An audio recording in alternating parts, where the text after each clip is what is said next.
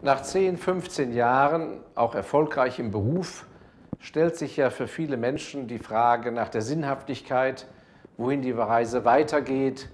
Ähm, und sie stellen vielleicht fest, dass das alles nicht ganz so optimal ist nach den ersten Berufsanfängen und nach dem Aufstieg. Und ähm, die Frage ist, wie kommt man da weiter?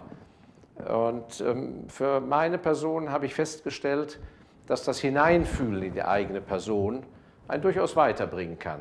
Ganz einfach und lapidar, dass man mal eine Woche lang an sich selber abcheckt und hineinhorcht, wo fühle ich mich eigentlich am wohlsten?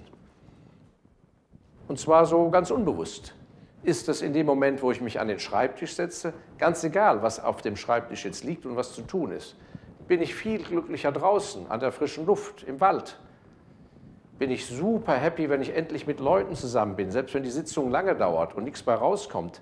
Oder bin ich richtig froh und erleichtert, wenn ich entweder alleine bin? Sowas ist, glaube ich, viel, viel wichtiger herauszufinden als äh, logische Vernunftskriterien, wo könnte ich schneller befördert werden oder wo ist der sichere Arbeitsplatz. Dieses Hineinhorchen in sich, das ist an sich die Basis, aus der die Persönlichkeit genährt wird und das könnte einem durchaus auch bei der beruflichen Entwicklung helfen.